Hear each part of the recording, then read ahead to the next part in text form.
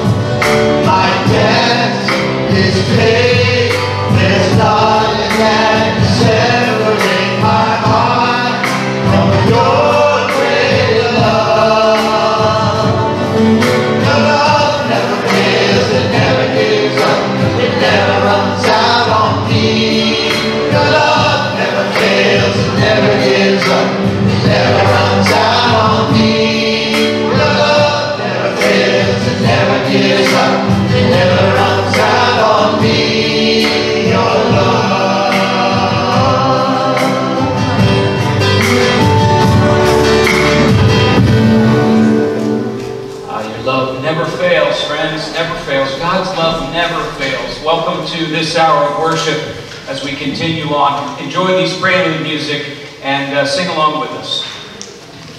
Especially when you say amen. You say amen.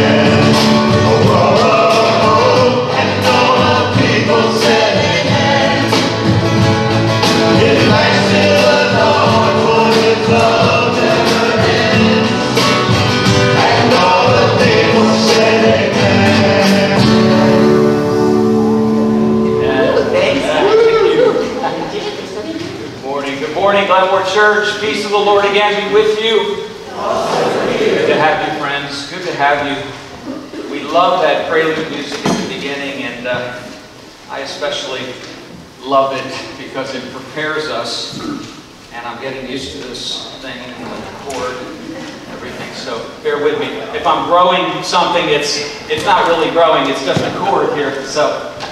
Excuse me for that. So if you're visiting this morning, I welcome you in the name of Jesus Christ. I'm Dan Heppner. I'm the pastor here uh, at Glen Moore. We are a city shining on a hill that will not be hidden. So we welcome you to this worship hour. Welcome you into service and to mission and to ministry as well. I want to bring up just a few dates uh, for you to uh, mark down in your calendar. First, November 14th. I know it's a ways away, but it's really not. Someone reminded me this morning that the leaves are dropping, the autumn leaves are here. And uh, you want me to sing that, Autumn Leaves? No, I guess you don't know how to sing that, but uh, it's a beautiful song. But it's coming. So November 14th, afternoon concert, the Rosetta Stones, a Celtic and folk band, will be with us at 2 p.m. We have our own dulcimer quartet here this morning that will share in our offertory. So just a wonderful thing. Thank you. We are blessed by you and your service this morning. December 11th is our cookie walk and bazaar, 10 a.m. to 2 p.m. December 19th will be our afternoon concert. It's a um, it's called it's the PA Flute Choir. It's a beautiful, beautiful flute choir of bass and alto and tenor flutes. Just a beautiful sound. That'll be at 2 p.m. I want you to mark that down too as well. We uh, kick off on the 22nd of September our six-week Bible study. Uh, Michael will be uh, leading this. It's all about understanding the Apostles' Creed, breaking it down word by word by word. Just a wonderful uh, kind of uh, exegesis, an exegetical lesson on what we say we believe and uh, breaking it down in word. Um, I wanted to um, um, tell you that Mike Chernaco has uh, uh, finished a course in the Christ Servant Ministry training uh, session, and uh, I wanted to bring that up and, and ask that you clap and congratulate him for, uh, for this. it's a, um, it's a 10 course session. I met a visitor this morning who has finished her, her service in Christ Servant Ministry, so we welcome her, welcome uh, Chris to uh, this hour of worship. What a wonderful day we're having. Let's, uh, let's stand and let's uh, offer um, this call to worship as we rise and, and allow Michael to lead us in that call to worship. Oh, there's a hymn first, uh, so we'll sing that first. We have a hymn first. That's my first error. Okay, let's sing. Come now is the time to worship. This is a great song. Let's sing together.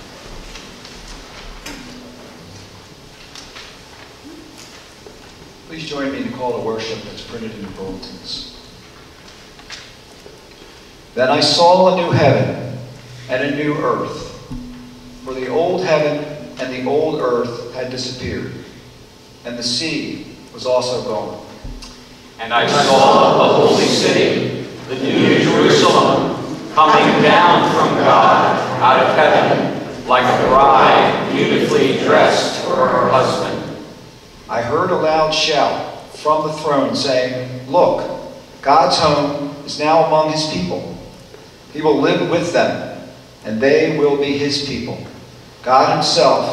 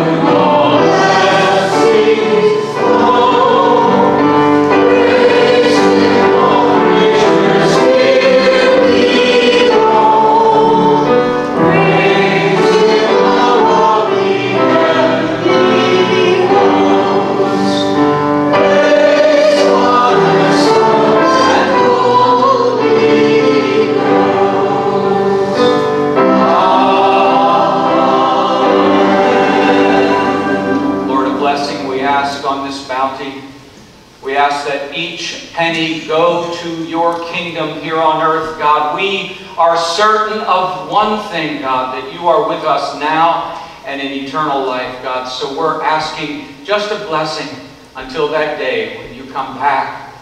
God, bless this bounty. Bless the hands that gave it. Bless their hearts. We're praying in the name of the Father and of the Son and of the Holy Spirit. Amen. Amen. You may be seated.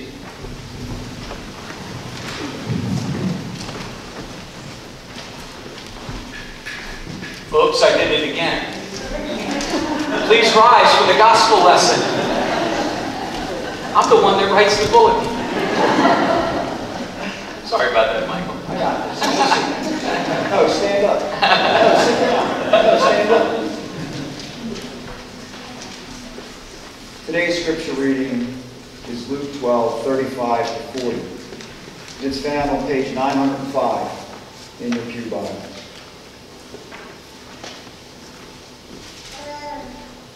Hear the word of the Lord. Let your loins be girded and your lamps burning, and be like men who are waiting for their master to come home from the marriage feast, so that they may open to him at once when he comes and knocks. Blessed are those servants whom the master finds awake when he comes. Truly, I say to you, he will gird himself and have them sit at the table, and he will come and serve them. If he comes in the second watch or in the third and finds them so, blessed are those servants. But know this, that if the householder had known at what hour the thief was coming, he would not have left his house to be broken into. You also must be ready, for the Son of Man is coming at an unexpected hour. This is the word of the Lord. Thanks be to God.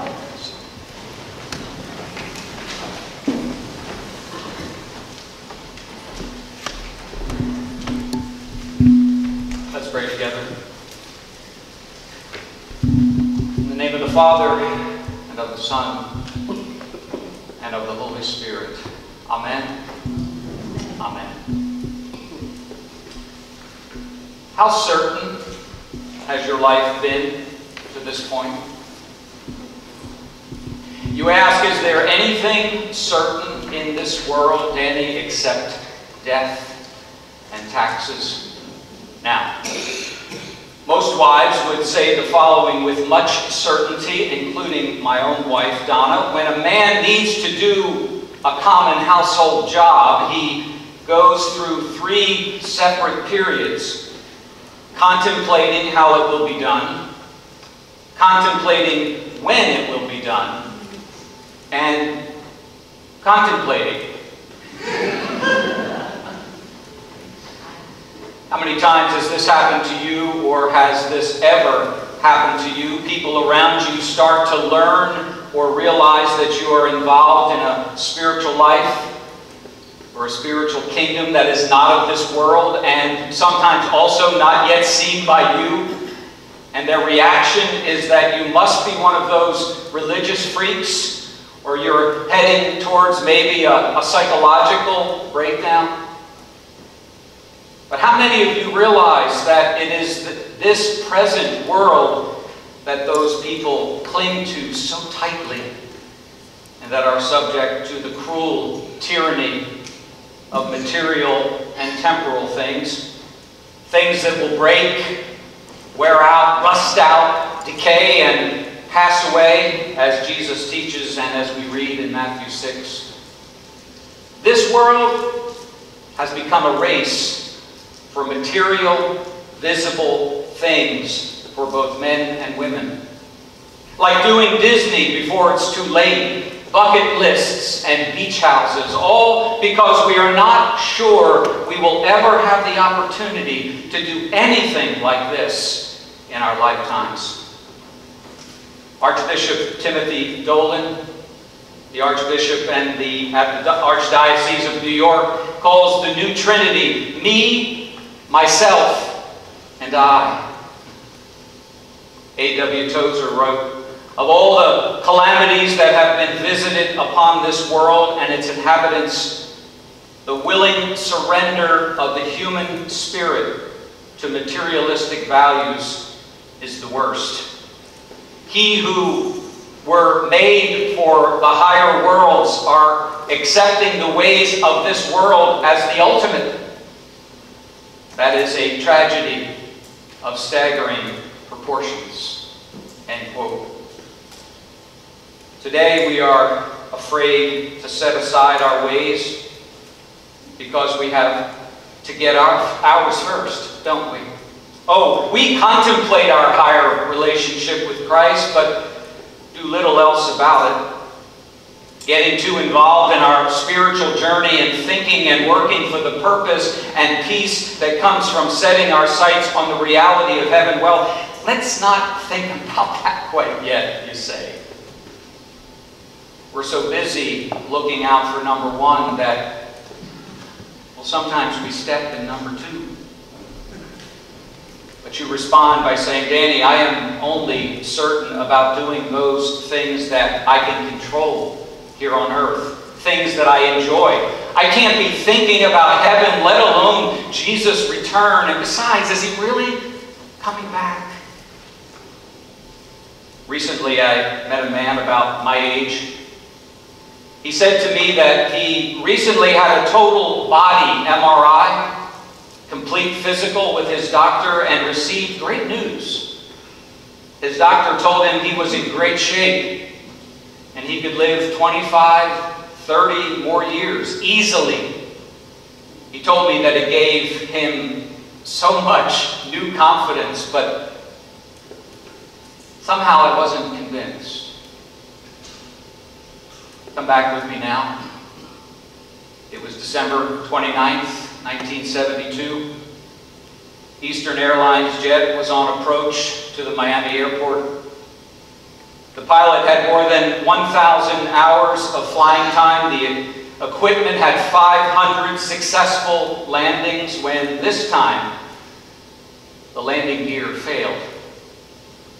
101 people on board all died as they crashed into the abyss of the night into the Florida Everglades. How many of them knew the uncertainty of life? If you had five minutes to live, what would you do? Once we accept the uncertainty of this life, it then lends power and urgency to everything we are doing in our lives right now. Accepting it puts a premium on the present you don't leave undone what you can do right now. People that live this way are ready for Christ's return. Not hypocrites or crazy, but sincere. Not fearful, but ready to witness to others. Not scared to tithe their money, but trusting in what God will do. Not greedy, but generous and faithful with their time. Not lazy, but diligent and purposeful. Not afraid to live, not afraid to love, not afraid to die. Corrie ten Boom used to say, when the train goes through a tunnel and the world gets dark, do you jump out? of course not. You sit still, she said, and trust the engineer to get you through. Verse 35 of our text Be dressed for service and keep your lamps burning as though you were waiting for your master to return from the wedding feast. Then you will be ready to open the door and let him in. In the moment he arrives and he knocks, you'll be ready. It is a wondrous thing, friends, to accept the uncertainty of life. Our daughter Molly used to be a beautiful diver off the diving boards. When she was young, she used to say, I am invincible, Dad, when I dive. Would scare her mother out of her wits, but how many of you live this way? invincibly. I'm invincible, Dad. Ask yourselves, am I living in uncertainty? Or am I living a certain life? Hmm. Am I putting a premium on the present because I don't, I don't want to assume anything about the future? Am I living in peace this very day with purpose? But you see, our heart is where that conflict lies. Our feelings for ourselves and for others clash. We distrust. We trust too much. Jealousy and love all mixed together. God's peace, friends, is so much different from the world's. The peace I am talking about today comes from knowing God is in complete control and where you find purpose in this world. Stop worrying about the tomorrow in this world. Whatever time you have left, use it. Living with the certainty of the living Christ alone. Peace with God is having purpose now, not tomorrow. Tomorrow things never get done.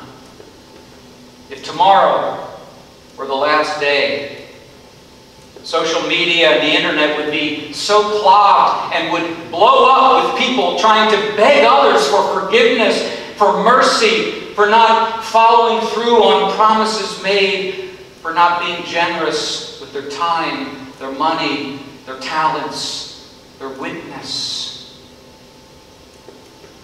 When you accept the uncertainty of life, it places a premium on the now, right now. You no longer worry and contemplate or assume anything about the future. So you ask Danny, how do I get that peace with Christ?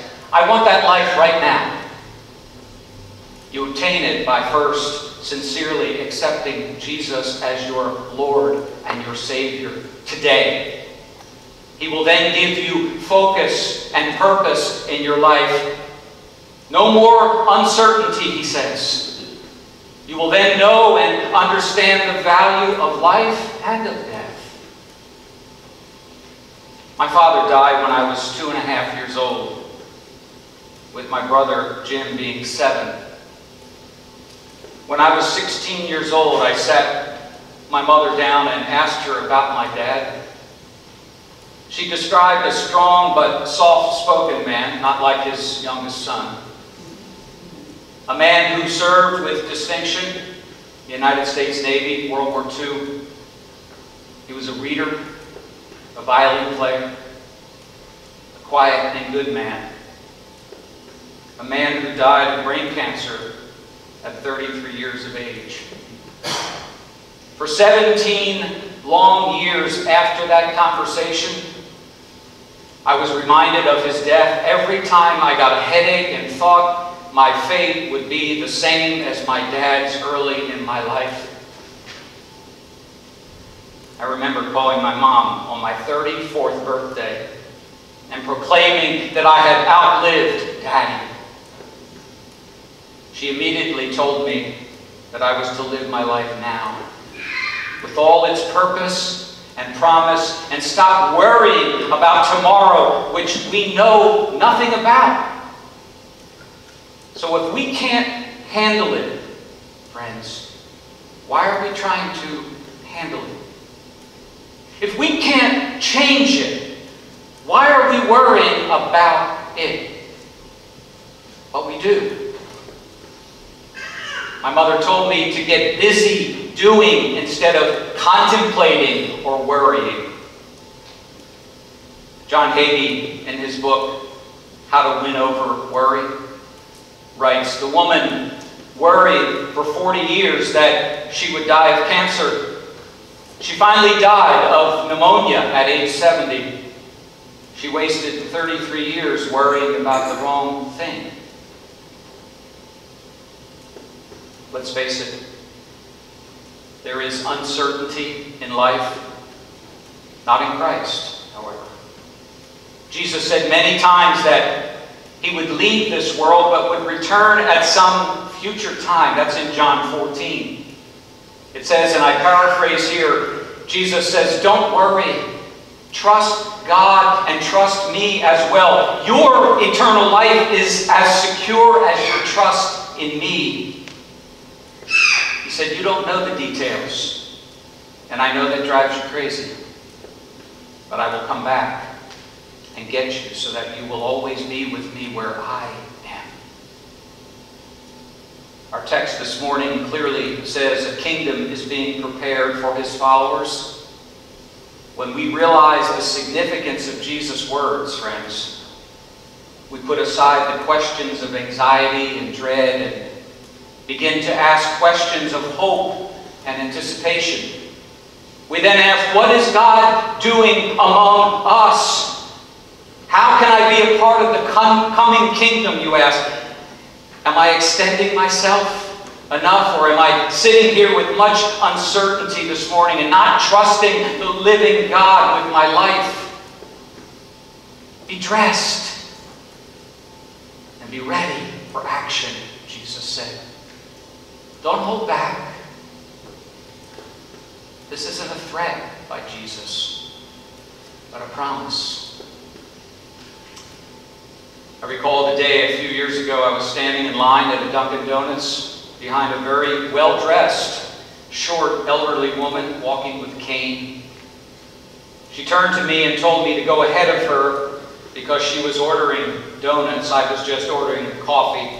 I told her not to worry, and I found out later why I didn't take her up on her offer.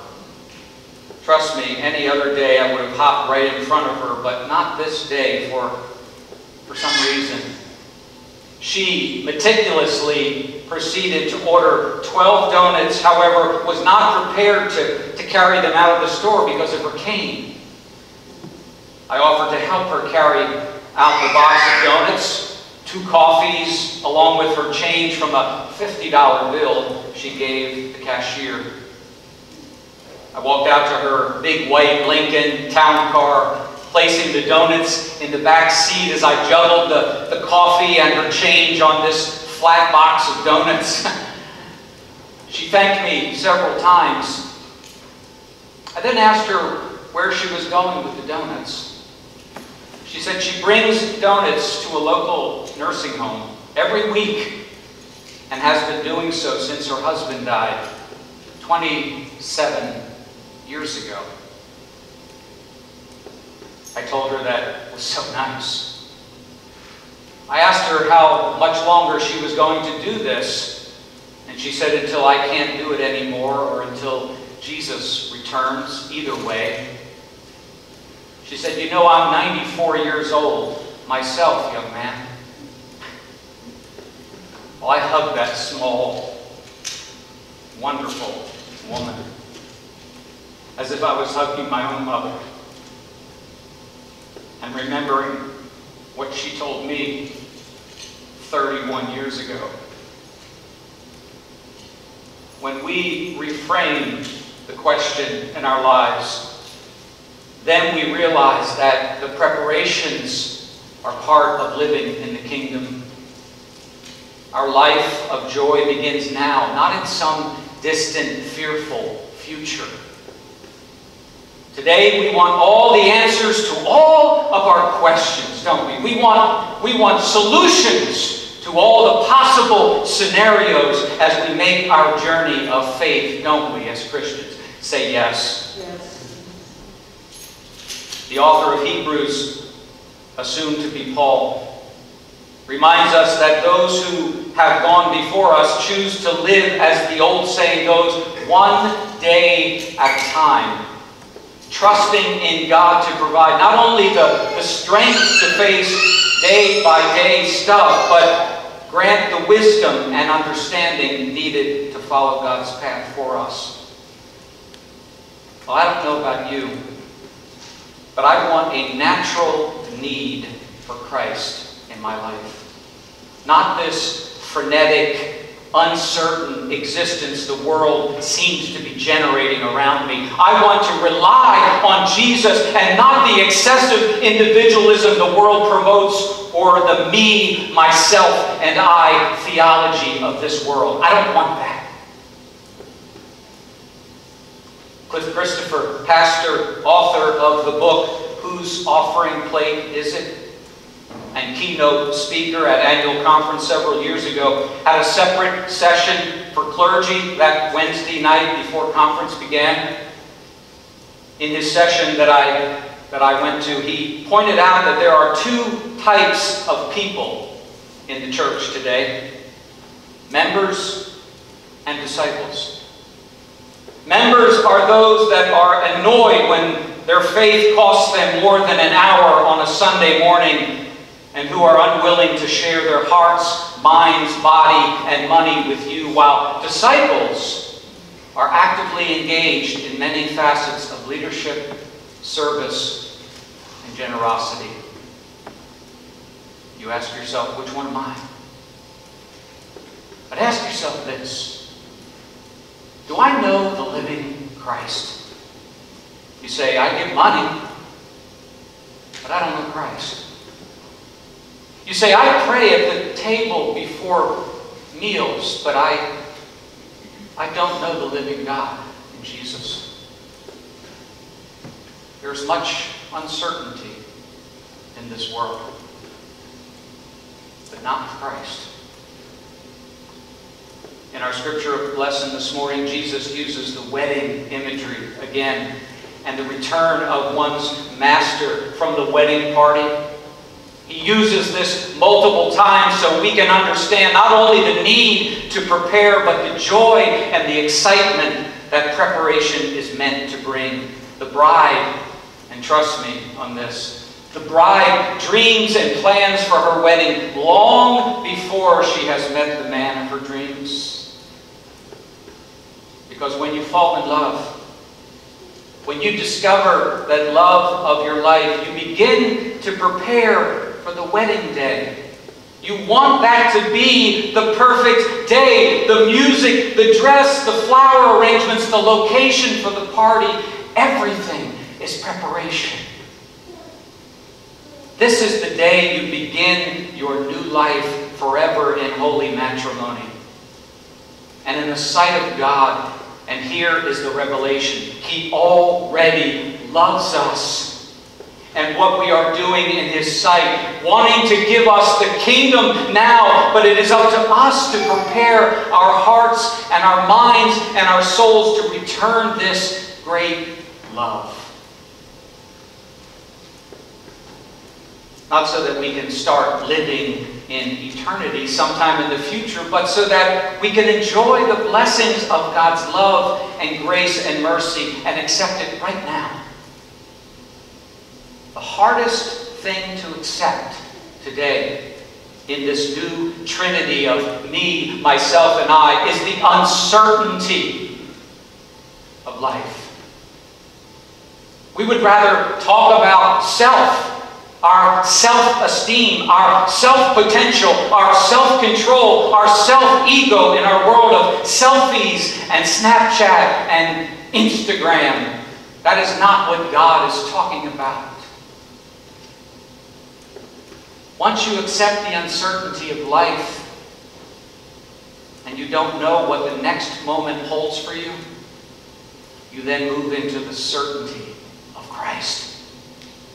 And it will lend a power and an urgency and a dynamic to you in everything you do in life. Accepting the uncertainty of life puts a premium on the here and the now. You don't leave undone what you can do, and you don't leave standing what you should undo. Are you available to God right now? Are you doing what is important and not the unimportant? Let me close with this. Tolstoy wrote of an old, faithful farmer who was asked one day that if the the end of the world was to happen tomorrow, what would he do? Well, the farmer said, first, contemplating how it would happen. Then he would contemplate when he thought it would happen, and then turned to the questioner and boldly stated, I'll just keep plowing. What will you do?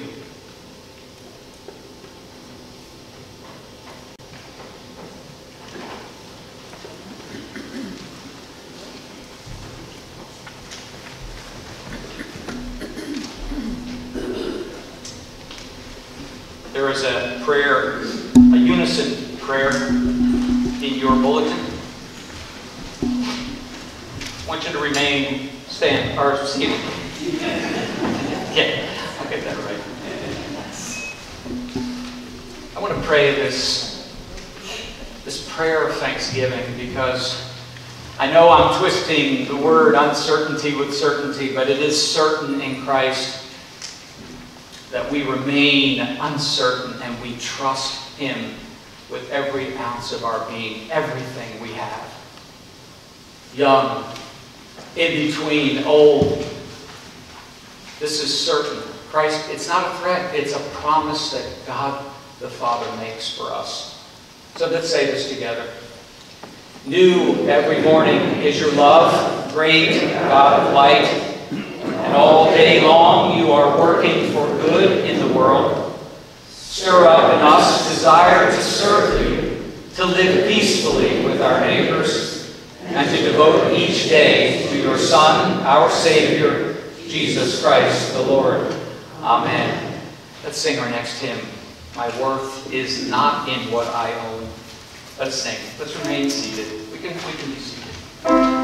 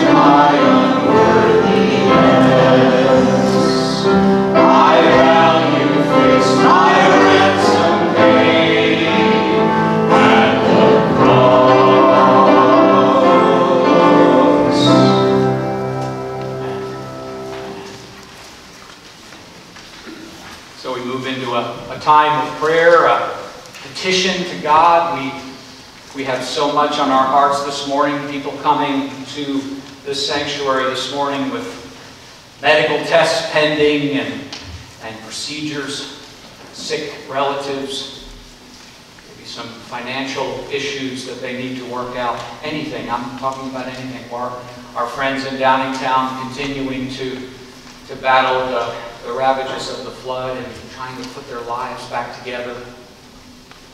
So I'm relying on you. Let's petition God together today. Let's pray together. Tommy. Um, Kelly Jaber has asked me to let you all know that her grandmother, Lauren Shoppy, passed away.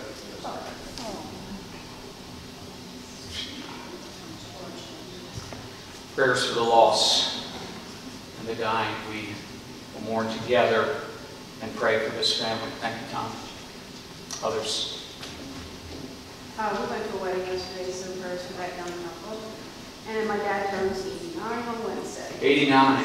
Yeah, yeah, terrific, terrific. And a wedding, a wedding. We've been alluding to weddings for the past several weeks here, and uh, just so happens it's replete in the gospel. So thank you for that prayer. We're celebrating that.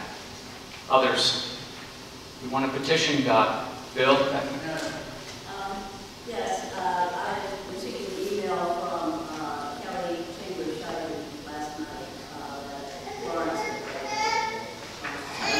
Florence. Florence. Has died. Shivey has died, yes. I remember Florence from my, my years here previously, so we'll mourn. Thank you. Thank you for that. We'll pray for that. Others? Yes. Prayers for prayers of protection. My uh, husband works at freight rail, and two nights this week, in a spot between Phoenixville and sort of Warriorsport, Mhm. someone has been shooting at the freight train. And the police still don't know where the person is, who the person is. You know, they're concerned what if he puts a slug in a shotgun, because that will go right through them, you know. So far what he's used, their windows are semi-bulletproof, and so far the small calibers he's used have not gone through the windows, but Oh, my goodness. it's terrifying. Yeah, they're shatterproof windows. They're not. Right, yeah, right, They're right. they're shatterproof. Yeah. Prayers for protection. What's your cousin's first name? Chris. Chris. Okay. Prayers for protection. Someone is shooting at freight trains in Phoenixville. Others. I want to pray. I'm led to pray, and God has heard these petitions. I'm convinced of that, so let's bow our heads. Father, Lord, with uh, our eyes shut and our heads bowed, God, we come to you in great humility. We know that being humble is, is a difficult task. The world says we need to be really sure of ourselves and confident and show confidence, Lord, but we want to be confident in you, Lord. That's redeeming. That is enduring. That is blessed. That's a blessed life. Not trying to go it alone. Doesn't work. Worry doesn't work. Fretting and the frenetic nature of the world, the pace following that doesn't work either. Here's what does work. Trusting in your sovereignty. Trusting in your grace. Trusting in your mercy. Trusting that as believers, as saved Christians, Lord, we we celebrate salvation. We celebrate, God, a, a life that uh, can be lived tethered to you but untethered from the world. Today we pray and we petition you, God. You've heard the names, you've heard the family names, you've heard the situations, that of leaving this world, Lord, and entering into your heavenly realm. We've heard of, uh, uh, Lord, of uh, peril and, and fear. Someone shooting at a train. Someone uh, shooting at a, at a loved one. Oh God, we, we pray for a veil of protection on these families who are suffering with loss, and uh, those that continue to work that are suffering the unknown. Father, we pray that. We celebrate weddings, Lord, and we celebrate uh, uh, holy, holy marriage, Lord. Promises made before you and before witnesses, God. Promises kept. We thank you for 89 years on this, in this world, Lord. We, we thank you for that, for fathers, for birthdays, for mothers, for, for their lessons in life. God, we thank you for everything. God, if we just say thank you in prayer and can't think of anything else to say, that is enough, you tell us. That we're enough. We're just enough. Teach us not to try so hard. Oh God, we pray these things. We celebrate today. We thank you for worship. We thank you for this church, your church, Glen Moore United Methodist Church, Lord, the church of Jesus Christ, that it be sustained in the gospel, that it be relevant by preaching the gospel, by living the gospel, by singing the gospel. God, help us to stand strong, that shining city that will not be hidden. Thank you, God. Now, Father, we pray this prayer that you taught your friends, your disciples, whoever really wanted to learn this prayer. We pray it together still, over 2,000 years later, saying, Our Father, who art in heaven, hallowed be thy name. Thy kingdom come, thy will be done, on earth as it is in heaven. Give us this day our daily bread. And forgive us our trespasses, as we forgive those who trespass against us. And lead us not into temptation, but deliver us from evil. For thine is the kingdom, the power, and the glory forever. Amen. Amen. Let's stand and sing our last hymn. Thy word is a lamp. You know this beautiful, beautiful song. Let's sing it together we close.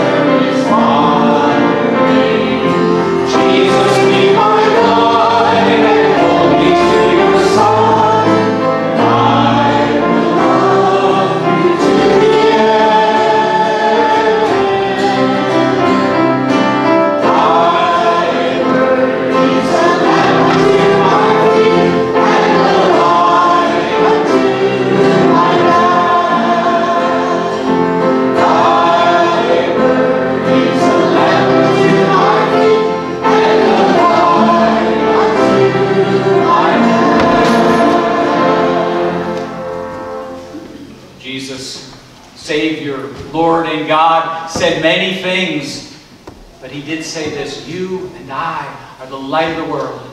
A city that is set on a hill cannot be hidden, nor do they put a, a lamp under a basket.